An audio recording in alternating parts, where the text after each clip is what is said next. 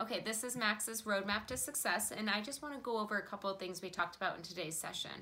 One of the first things we talked about was exercise. So he's a young dog. We want to make sure he's getting plenty of exercise and that his, um, you know, exercise needs are being met. So currently the owner's already doing a really great job with him where they've been taking him for a walk every day for about 30 minutes and then playing ball with him for about 20 to 25 minutes. So all I ask them to do is kind of switch that up a little bit and say maybe go for a 10 to 15 minute walk each day because he's young and put more energy and time into playing ball. It would even be great to play ball with him for 10 15 minutes in the morning first thing so he's not in the kennel all day with all that energy being pent up and then playing ball maybe later in the when you get home from work and then maybe one more time before bed. If anything, it's better to do a couple of 15 minutes um, exercise sessions with a short walk somewhere in between when it's convenient than to try to sit down and play ball for like 45 minutes to an hour straight because you'll get tired, but that energy will come back. So better to break it up. As for the walk, since we're working on him not being so reactive to people and dogs, I want to encourage you to walk him at time periods when there's going to be less foot traffic out, less people out, things like that. So if there's a more people, try to keep a shorter walk so he's not exposed to that as long, or go earlier in the morning or later at night just to kind of maintain that. But walking is still great. It's good exercise, but it's really great for him to kind of get you know, to smell his environment and just be a dog. So that's really awesome. So I don't want to take that away from him.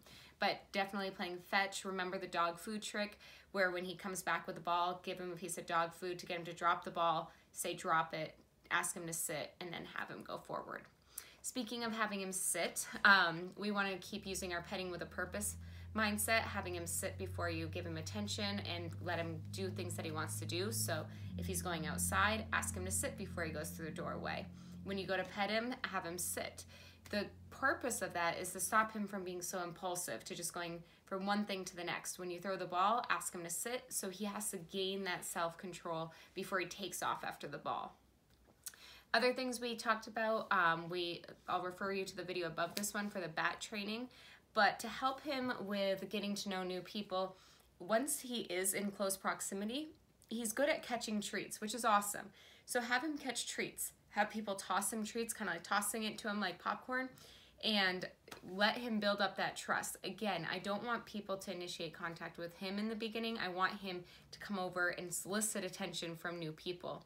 That way he feels like he's in control. He's had time to smell them, get to know them better, and then he's seeking attention. That's the best method possible. Um, you can bring him to Lowe's, Home Depot, Menards to practice some of this type of stuff.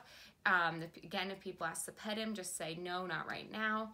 Um, and just let him practice being around people, approaching people, walking away, where he's starting to learn that he can be confident and calm around new people without them kind of um, infiltrating his personal space and his bubble.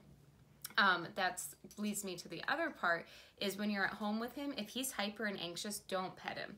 You only want to pet him when he's being calm.